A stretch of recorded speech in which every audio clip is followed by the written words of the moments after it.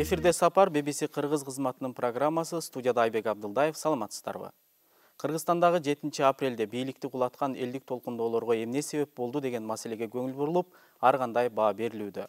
Айрым эл аралык жана жергиликтүү байкоочулар карапайым адамдарды көчөгө демонстрацияга алып чыккан экономикалык себептер болду деп айтышууда. Айрым эксперттер элдин эрки эркиндикти сүйгөн элдин эрки болду деп баа берип жатышат. Айтор бул окуялардын арты кыргызстандагы карапайым адамдардын саясий элитаны өзүнө өзү иштеген саясатты жокко чыгарышы менен жыйынтыкталды бул элдик бийликтин үлгүсү боло алдыбы? Элдин бийлиги кантип ишке ашырылуусу керек. Бүгүн биз ушул теманын тегерегинде кеп кылмакчыбыз эмесе бүгүнкү сапардын коноктору менен тааныштыра кетсем саясаттануучу табылды акеров саламатсызбы ошондой эле кебел клубунун лидери мирзат ажиев кош келипсиздер. Башка өлкөлөрдө маселен таиландда э, карапайым адамдар айлап жумалап демонстрацияга чыгып өлкөдөгү саясий жана экономикалык институттарды басып алуу аракетин көрүүдө. Эмесе ушул баянга кезек берип андан кийин талкуубузду баштасак үстүбүздөгү жылдын жазгы айлары таиланддагы өкмөткө каршы жүрүштөрдө кызыл көйнөкчөндөр деп аталган демонстранттар өлкөдө саясий өзгөрүүлөрдү өткөрүүнү жана жумушчу тап менен дыйкандардын мүдөлөрүн угууну талап кылышты. Миңдеген демонстранттар адемдүү отелдер кымбат дүкөндөр жана турак жайлар жайгашкан өлкө баш калаасы бангкоктун борборун курчап алышкан. Март айында демонстранттар кан чогултуп аны өкмөт үйүнүн дарбазасына чачканы толкундоолордун туу чокусу болду. Толкундоого эки миң алтынчы жылкы кансыз төңкөрүштө бийликтен кулатылган мурунку премьер министр таксин шинаватраны колдогон топтордун коалициясы чыккан. Кызыл көйнөкчөндөр азыркы өкмөт бийликке шайлоо аркылуу эмес аскерлердин колдоосуна таянып парламенттик келишим аркылуу келген деп аны мыйзамсыз деп эсептешет. Толкундоолор өлкөнү терең кризиске батырган таиланд үчүн абдан маанилүү туризм өндүрүшү токтоду экономика жабыркады зомбулуктар күчөп жыйырма жети адам набыт болду элдешүү планы иштелип чыккан өкмөт жаңы шайлоо жана саясий реформаларды өткөрүүнү сунуштоодо бирок он жылдар бою болуп келген саясий коогалаң жана биринин артынан бири чубаган төңкөрүштөр терең ишенбестикке алып келди элдин улам толкундай бергени таиланддын саясий турмушунун кадыресе көрүнүшү болуп калдыбы bbcнин бангкоктогу кабарчысы рейчел харви. Жетимишинчи сексенинчи жылдары студенттик толкундоолор болуп келгенине карабастан кийинки чыгыштар таиландда салыштырмалуу жаңы көрүнүш десе болот булар мынчалык өөрчүгөнүнүн көп себептеринин бири менимче азыркы кезде маалымат каражаттарын көзөмөлдөөгө абдан кыйын болуп калган веб сайт байланыштары коомдук радио интернет твиттер жана башка байланыш жолдору көзөмөлдү чектеп калган кишилердин маалымат алуу булактары кыйла кеңейген. Дагы бир себеп бир миң тогуз жүз отуз экинчи жылы конституциялык монархия орнотулгандан бери он алты төңкөрүш же төңкөрүү аракети болгон. Бул абдан көп коогалаң алып келди менимче аскерлерди кайра колдонуудан карманышат ачык суроолор көп. Баардыгы бирдей ишене алган система барбы кызыл көйнөкчөндөр жана жумушчу таптын көбү бангкокто өкмөт үйүнө бир эле элита айланып келип эле бийликке келип калат аскерлер жана жогорку кызматтагы чиновниктер баардык нерсени көзөмөлдөп турууга умтулат алар башкаларды угуп аларга эч качан тең укук беришпейт деп эсептешет бул маалымат технологиясына таянган абдан заманбап турмушка алгалоонун бир бөлүгү таиланд азыр ушул өсүү муктаждыгын ишке ашыруу жолундагы мүшкүлдү башынан өткөрүүдө дейт bbc кабарчысы рейчел харви. Байкоочулардын айтымында таиланд азыр ачык жана баардык тараптарды камтыган сүйлөшүүлөргө муктаж. Ошондо гана ал кандай өлкө болгусу келерин? Он жылдап созулган саясий толкундоолор жана араздашуулар жараткан терең ажырымды бүтөп өлкөнү алга жылдырчу жолун таба алмакчы бул орундалбаса анда эл кайра кайра көчөлөргө чыга бермекчи. Э, мына табылды мырза азыр эле лондондо даярдалган сюжетти көрдүк. Э, эми ушул кыргызстандагы окуялар менен таиланддагы окуялардын кандай окшоштуктарын кандай айырмачылыктарын көрүп турасыз? Биринчи кезекте бул жерде дагы азыр айтылгандай баягы массалык маалымат каражаттарынын баары тең бийликтики болуп бийлик контролго алып элге мындай э, ошо э, мамлекеттин же болбосо өкмөттүн иши жөнүндө аз маалымат берилип жаткандыгы жана баягы бийликти монополиялаштырылып алгандыгы көрүнүп жатат да. Анан бул бир экинчиси баягы бир тарап экинчи тарапта мисалы үчүн бийлик баягы оппозицияны укпай калгандыгы көрүнүп атат да. Мына кыргызстанда деле акыркы жылдары акыркы үч жылда акырындык менен ошо бийлик оппозицияны таптаза эле укпай өзгөчө ушу ак жол партиясы түзүлгөндөн кийин таптаза укпай анан массалык маалымат каражаттары акырындык менен кысымга алынып отуруп журналисттердин бир тобу баягы заказдык түрдө өлтүрүлүп коом кысымга алынып отуруп акыркы чек бул жанагы бирок ошол эле маалда баягы экономикалык өнүгүү көрүнгөн жок да. Бир дагы завод же болбосо фабрикалар иштеп кетип баягы бийлик өзүнүн баягы элге берген убадаларын аткара албай калгандыктан баягы эл уже эл акыркы мезгилдерде баягы толкундоого жетип калган абалчы. Себеп дегенде тарифтер көтөрүлдү. Тарифтер көтөрүлгөндөн кийин эл өзгөчө мындай жакыр жашаган бөлүгү тарифтерди төлөөгө мүмкүнчүлүгү жок эле.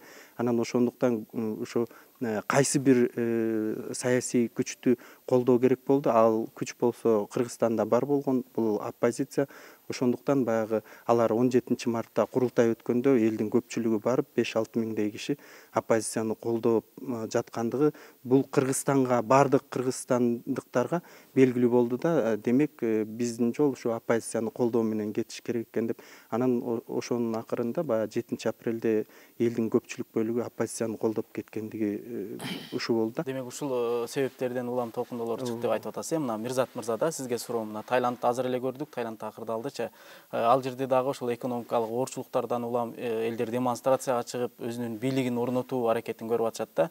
Ошол элдик бийликти орнотуу үчүн сөзсүз эле демонстрацияга көчөгө чыгыш керекпи? Же башка жолу барбы? Сиздин пикириңиз кандай?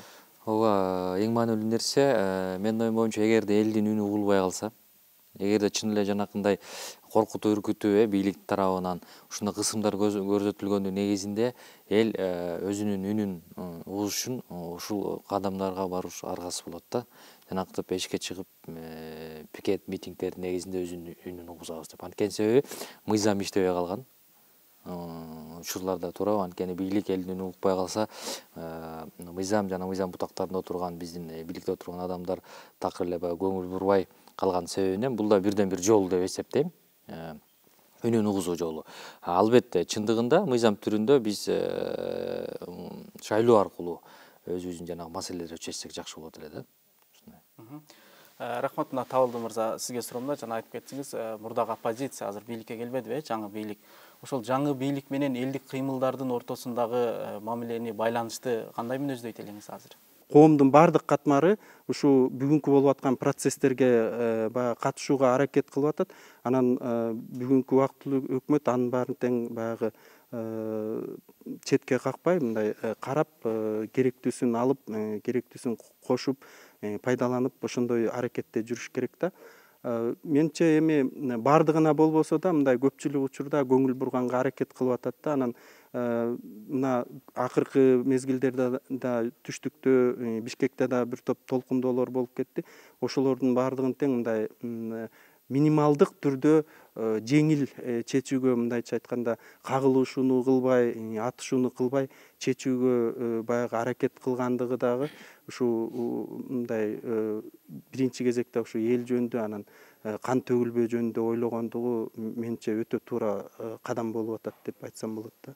Э, рахмат. Мына ушул жерде талкуубузга бир аз чегинүү жасайлы да. Ошол элдик кыймылдар жөнүндө сөз кылып атабыз. Ошол э, элдик кыймылдардын э, башында жүргөн апрель окуяларынан кийин кыргызстандын коомчулугуна аты таанылган алязбек алымкулов деген жигит бар. Ал жигит ошол жетинчи апрелдеги окуялар учурунда башынан эки жолу жаракат алып ок тийип бирок аман калган азыр ошол дарыланууда ошол алязбектин дагы пикирин угуп андан кийин талкуубузду улантсак.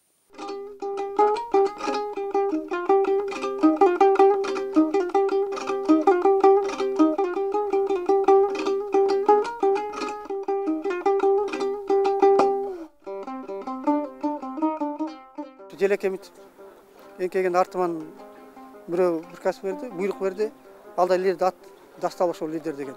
Караган чолу эле биринчи ок башка тийди анан колго тийди экинчи ок мурдуман кирип аркаман желкемен чыкты кулап калыптырмын калганын билбейм эң биринчи ошо ок атылып туруп анан беш минуттен элди ата баштаптыр менен кийин ошентип биз эми ал күнү лидер бололу же баатыр бололу деген ой жок болчу. Биздин ой максат бир гана нерсе.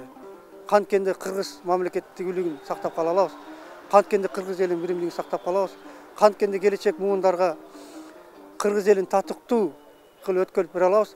Канткенде өткөн бабаларыбызга алардын жүзүн тигидүүнү барганда көздөн карагенде эле өткөрүп берген мамлекетти сактап калгандыгыбыз сактап кала албай калдык кантип айтабыз ушул гана ойлор болчу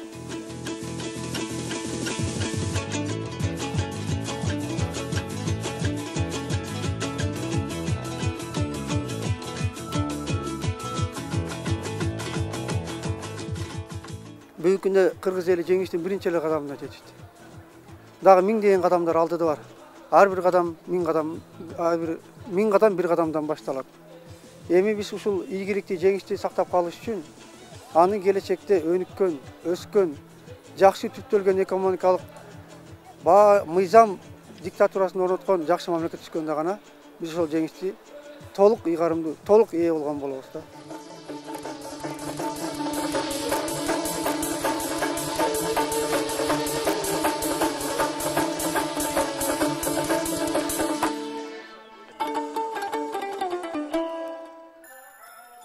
биз улуу муундун тажрыйбасына база өткөн жолуна таяныш керек орто муундун күчүнө акыл эсине профессионалдуу ишти алып баргандарына таяныш керек анан кийин жаштар ушул үч нерсени кошкондо гана биз коомдо келечектүү мамлекет түзө алабыз бир гана жаштарга таянып бул нерсе түзүлбөйт анткени өткөнү жок келечек жок улуу муун жок жаштар жок баары бири бирине байланышып туура байланышканда гана келечектүү мамлекет түзүшү мүмкүн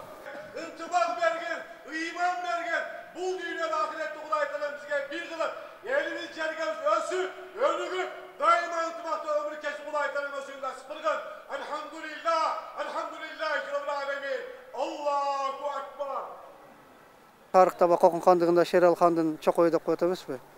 Ошондой чокой керек бизге а чокой ким? Чокой бул эл. Экинчиден мен ойлойм мен ишенем. Эми бийликке келген бийлик төбөлдөрү ушул нерселерден сабак алса деле жетиштүү болот го дейм. Кыска мөөнөттө ушундай эки нерсе чоң ыңкылап болуп өттү. Бул элдин биз кыргыз эли көчмөн экенибиздин көчмөнүбүздө духу бар экенин. Биз дайыма эркин эл болуп баарын курултайда чечип акыл менен иш кылганыбыздын далилдеп койду да. Ак үйдү карай желек көтөрүп чыгып ок жеп ажалы жок экен тирүү калган алымкулов алиясбекке берилет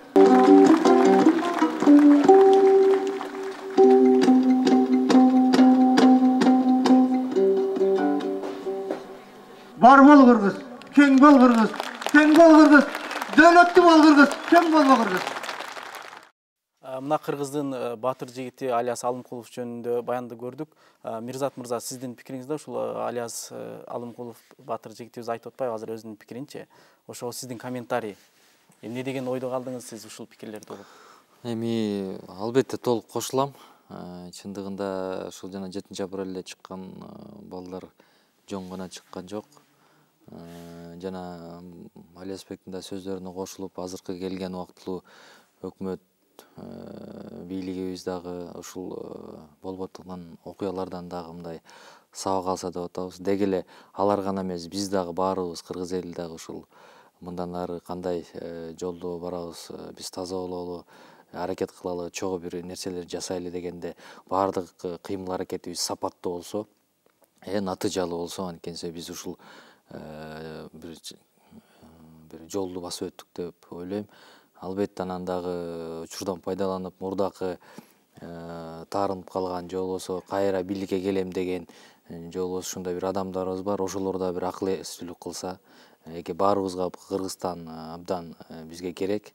Баарыбыз кыргызстандык болгондон кийин алар дагы баягы тескери мамиле түзбөй э, тескери бир иш ча- чараларды колдонбой э, кайра бизге жардам берип мамлекетти түздөп кайра бир э, э, мындай жолуна салсак деген ойдо Э, мына мирзат мырза сиз менен биз мына жаштардын өкүлүбүз да. Э, ушул э, алиясбек сыяктуу жигиттердин образы мындай жаштарды жаштардын катмарын деги эле сизди кандайдыр бир э, нерселерге шыктандырабы? Албетте шыктандырат. Э, мындай болуп атат да биз ушул кебел клубунда түзгөн негизги максат да ушундай болгон. Э, биз ушул э, сиз билесиз да биз жанагы мен ишенбейм деген акциянын негизинде баягы хипика каршы жана беш алты бир акциялардын негизинде ошолорду жасап жүрүп отуруп биз бир терең ойлонуп мындай бир чечимге келгенбиз да жаштардын бир баалуулуктары менен иштешибиз керек экен. То есть ошол бир бир жаштардын бир сүрөтүн тартып чыгалы. Ал азыркы коомдо заманбап эми учурга эме ылайык жаштын образы кандай болуш керек деген бир көп мындай ой толгоолор жүргүзгөнбүз да. Ошонун негизинде чакан бир долбоор иштеп чыкканбыз. Долбоор болсо кыргызстандык дегенбиз. Анан ошого бейнени салганбыз. Кандай баалуулуктар? Азыр эмне керек дегенде мисалы билим заманбап технологияларды билиш керек дегендейчи биз ошонун үстүндө иштеп Э, ушул э, жанакы алиасбек сыяктуу мисалы мындай бул мында да бир биз көрүп аткан образдагы бир баалуулуктар бар да бул баладачы. Ушундай бир баалуулуктарды түзүп алсак анан биздин жаштарыбыз ошол баалуулуктарга таянып а мына бул ушундай ушундай пункттардан турган баалуулуктар бар эмеспи. Биз ошолорго э, мындай ошондой бололук деген бир мындай Э, түрткү бере турган бир образ иштеп чыгып атабыз азыркы учурдачы. Кудай буюрса эми жетинчи апрелде болуп кетти. Эми азыр ушу ишибиз кичине кайра жанданып атат. Эми ойлоп атабыз бир эки айдын ичинде ошол образды алып чыксак бул да жаштарга бир көрүү пайда болуп бир сезимди жаратабы деп атабыз да. Мына мирзат мырза сөзүңөрдө айтып кетпедиңерби буга чейин мен ишенбейм ушул сыяктуу бир канча акцияларды өткөрдүңөр да. Э, анан ошол акцияларда силер таш көтөрүп же кыйкырып өкүрүп чыккан жоксуңар да демократиялык жол менен Э, өзүңөрдүн талабыңарды айтып чыктыңар да. Ушундай жолду тандап алса кыргызстан өнүгөт беле сиздин пикириңиз кандай? Ооба биз дагы сиз билесиз биз мен ишенбейм акциясына чыкканда көп элдер бизди сынга алды. Буларды бирөө каржылап атат.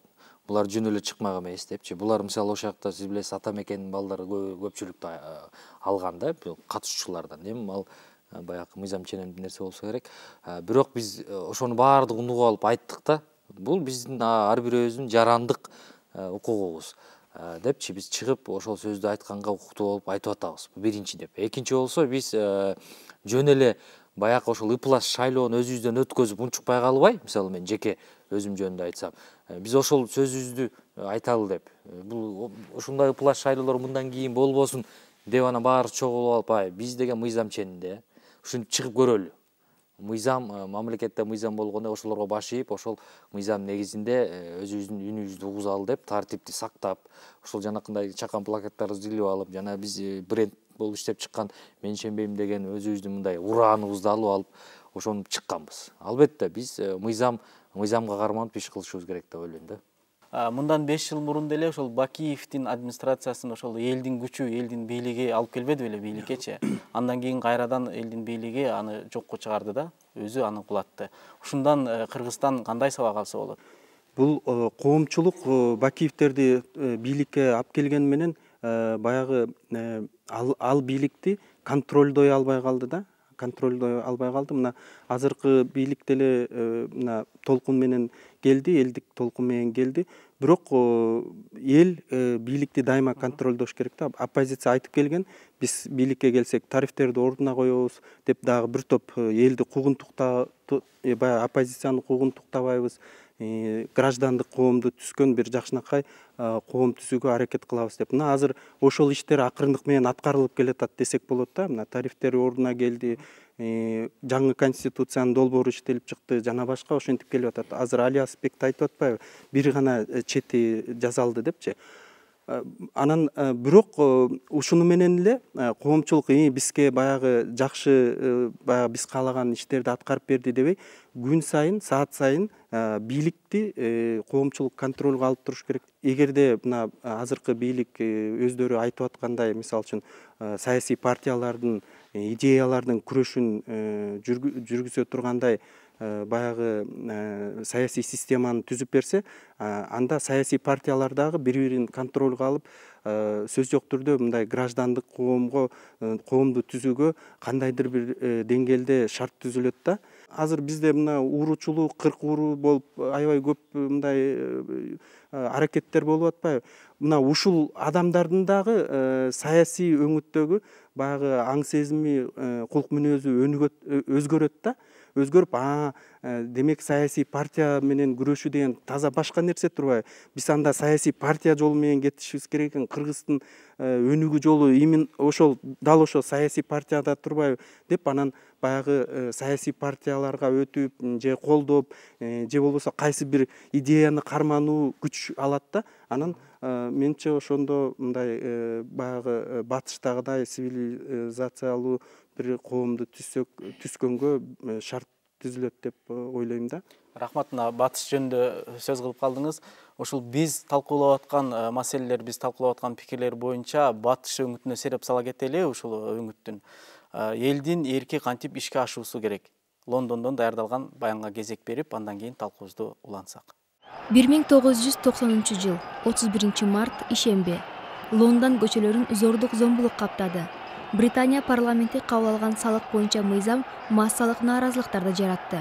Лондондун белгилүү трафалгар аянтындагы демонстрация тополоңго айланды. Салыктын бул түрүн киргизүү ал кездеги премьер министр маргарет тэтчердин негизги чечимдеринин бири болгон бир нече айдын ичинде салык мыйзамына болгон карама каршылыктар аны бийликтен алып түштү маргарет тэтчер он бир жарым жыл премьер министр болуп келгенине карабай анын өз партиясы башка лидерди тандап алууну чечти адамдардын тобу өз лидерин кулатуусу бул демократиялык кадамбы же демократияга шек келтирген аракетпи? Негизи элдин эрки шайлоодо добуш берүү аркылуу билдирилиши керек. Эч ким талкаланган терезелер өрттөнгөн унаалар же тонолгон мекемелер үчүн добуш бербейт. Бирок байыркы греция доорунан бери эле топтолгон нааразылыктар чоң күч болуп жарылып келген. Греция борбору афинада имараттар өрттөнүп жатат. Демонстранттар тынчтык митингине чыгышкан эле бирок алар полиция менен кагылышып шаарды зордук зомбулук каптады. Аба көздөн жаш агызчу газга чулганып гранатанын тарсылдагы кулак жарат. Өрт афинаны кырка каптаган. Унаалар тез жардам машиналары дагы күйүп жатат. Зордук зомбулуктардын аягы трагедияга айланды. Банкка бомба чабуул жасалганда ичиндеги эки кардар адам боюнда бар бир аял жана банк кызматкерлери мерт болушту. Тез жардам аларга жардам берүү үчүн өтө албай калды грециянын премьер министри иоргас папандреу бул адамдардын өлүмүн киши өлтүрүү деп баалады көзөмөлдөн чыккан тополоңдун аягы ушундай бүтөт деди ал. Ушул адамдардын э, демонстрацияларга чыгып өзүнүн лидерин кулатуусу бул э, демократиялык аракетпи же демократияга шек келтирген аракетпи? Мисалы үчүн э, өкмөт эмне үчүн ошо төңкөрүш болуп кетип атат? Себеп дегенде же бийлик кетип атат. Себеп дегенде ал бийлик мына бүгүн э, ушул салыкты көтөрүп атабыз мындан ары барбайбыз. То есть э, башкача айтканда биз баягы артка кайтпайбыз деген сөздү айтканда анан эл э, сөз жок түрдө ага каршы бир бул бийликтен мындай кутулушубуз керек деген баягы проблема келип чыгат да. Анан бизде кыргызстанга келсек мына акыркы эле салык эме тарифтердин көтөрүлүшү. Алар э, бийлик тарифти көтөрдү дагы анан кийин э, биз артка кетпейбиз деп атпайбы. Анан айтып атпайбы майда же июнда экинчи этабына өтөбүз деп анан дагы өтөбүз деп. Мисалы үчүн кыргыздын кыргыз коомчулугу баары билимдүү адамдар да алар билет жетимиш тыйын турганда эле баардык ошо салык амортизацияга да бүт жагына жетет эле да. А эмне үчүн көтөрүлүп атат? Демек бул бийлик э, көп акчаны жеп атат деген шектенүү пайда болуп атат да. Демек бул бийликтен кутулушубуз керек. Деген э, баягы ой келип чыгат да анан кийин баягы толкундоолор э, рахмат бүгүн бизге аябай жакшы талкуу куруп бердиңиздер эмесе бүгүнкү сапардын коноктору менен кайра тааныштыра кетсем саясаттануучу табылды акеров ошондой эле кебел клубунун лидери мирзат ажиев болду. Bbc кыргыз кызматынын сапар программасы ушуну менен бүгүнкү көрсөтүүсүн жыйынтыктайт. Бүгүн биз элдин бийлиги кантип ишке ашырылуусу керек? Көчөдөгү демонстрациялар аркылуу же анын мыйзамдык иш аракеттери барбы деген теманын тегерегинде кеп кылдык берүүбүздү интернет bbcнин интернет сайтынан көрсөңүздөр дагы болот. Ал эми көрөрман угармандар bbcнин офисиндеги алтымыш эки кырк беш жетимиш беш телефонуна чалып бүгүнкү программалар боюнча өздөрүнүн пикирлерин жаздырып койсо болот. Кайрадан көрүшкөнгө чейин саламатта калыңыздар